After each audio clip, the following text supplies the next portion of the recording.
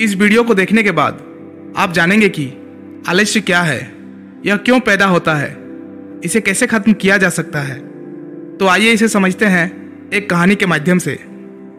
एक बार की बात है, एक आलसी व्यक्ति एक बौद्ध भिक्षु से कहता है, मुनिवर, मेरे पास बहुत आलसपन है, जिसकी वजह से मैं अपने जीवन में जो करना चाहता हूँ, वह कर नहीं पाता हूँ। मुझे कुछ रास्ता दिखाएँ।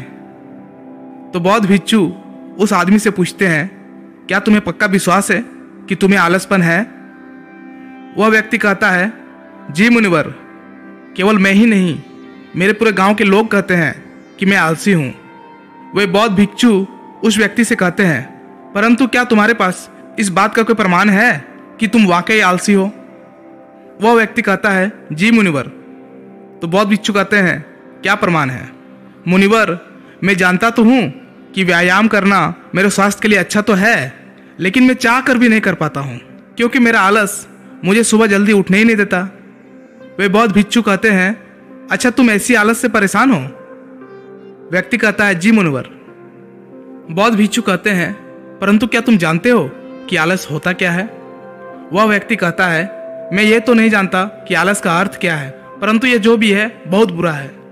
वे बौद्ध भिक्षु कहते हैं, कि सबसे पहले तो तुम ये समझो कि जो भी चीज़ प्राकृतिक रूप से मनुष्य के भीतर है, उसका कोई ना कोई उपयोग है। वह बुरी या अच्छी नहीं है।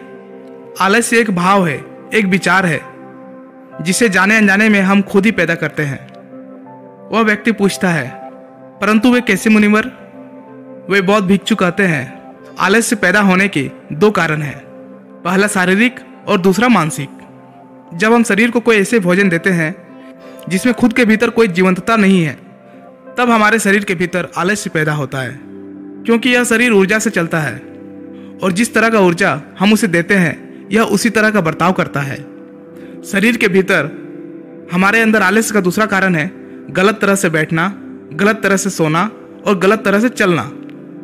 हम इस बात पर कभी ध्यान नहीं देते कि हमारे बैठने, लेटने और सोने की स्थिति सही भी है या नहीं।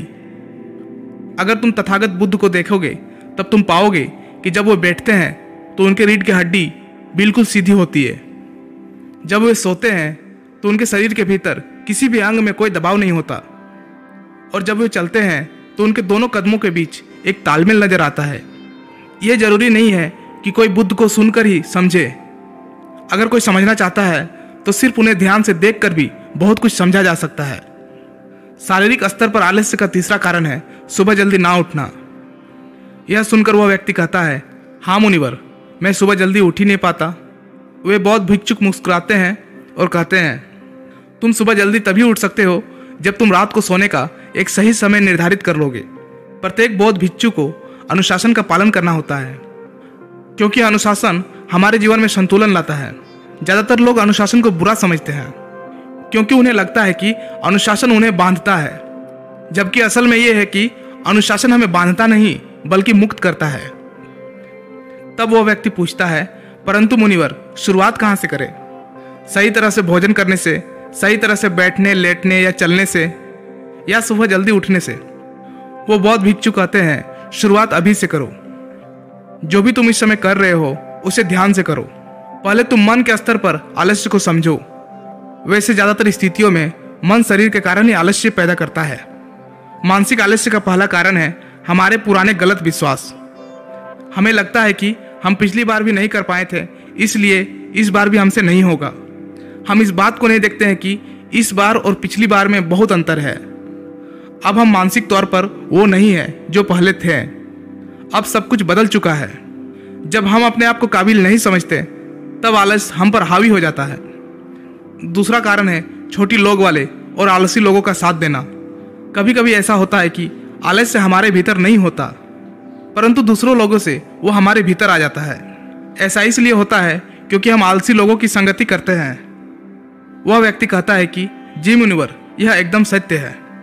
यह बात तो मैंने भी अनुभव की है। वे बहुत भिक्षु कहते हैं, तीसरा कारण है मन का स्पष्ट ना होना। मान लो, तुम एक वन में खो गए हो और शाम होने वाली है। तुम्हें यह नहीं पता कि तुम्हारा घर किस दिशा में है। तो क्या ऐसी स्थिति में तुम आलसी बनकर लेट जाओगे? या फिर अपने घर के तलाश में निकल पड़ोगे। वह व्यक्ति कहता है कि मैं घर के तलाश में निकल पड़ूँगा। तब वो बौद्ध भिक्षु कहता है कि अगर खूब प्रयास करने के बाद भी तुम्हें तुम्हारे घर का रास्ता नहीं मिला, तब तुम क्या करोगे? वह व्यक्ति कहता है, मैं फिर भी तलाश में लगा रहूँगा, क्योंकि मेरे पास उसके अलावा और कोई विकल्प ही नहीं होगा। वो बौद्ध भिक्षु कहते हैं, मनुष्य को आलस तभी पकड़ता है जब उसके पास कई विकल्प होते हैं। अगर किसी के पास सिर्फ़ एक ही विकल्प है तो उसका मन पूरी तरह से स्पष्ट होगा। अगर तुम अभी व्यायाम नहीं कर पा रहे हो तो उसका कारण तुम्हारे नज़र का स्पष्ट नहीं होना है। तुम अभी भविष्य में होने वाले रोगों को नहीं देख पा रहे हो।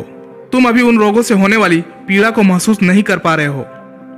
वो बौद्ध भिक्षु आगे कहते हैं कि आलस्य का चौथा मानसिक कारण है, किसी काम को करने की कोई वजह ना होना। मान लो, तुम एक रास्ते से कहीं जा रहे हो और बहुत देर तक चलते चलते तुम कहीं थक जाते हो। अब तुम्हारा और चलने का मन नहीं कर रहा है। तुम्हें आलस्य आ रहा है। तभी तुम वहाँ देखते हो कि एक शेर तुम्हारे पीछे चला आ रहा है। तो क्या ऐसी परिस्थिति में भी तुम अपने आलस्य को लेकर वहाँ रुके रहोगे? नहीं ना?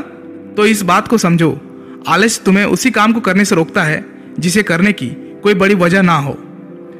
वह व्यक्ति कहता है, धन्यवाद मुनिवर। अब मुझे आलस्य का सारा खेल समझ में आ गया। वो बौद्ध भिक्षु कहते हैं मेरी एक बात हमेशा याद रखना। जहाँ अस्पष्टता है या कुछ करने की बड़ी वजह है, वहाँ आलस्य हो ही नहीं सकता। दोस्तों, अगर इस वीडियो से आपको कुछ सीखने को मिला तो इसी तरह मोटिवेशनल वीडियोस पाने के लिए चैनल को ज़रूर से ज़रूर सब्सक्राइब कीजिएगा। फिर मिलता हूँ कोई नेक्स्ट वीडियो में। तब तक के लिए धन्यवाद।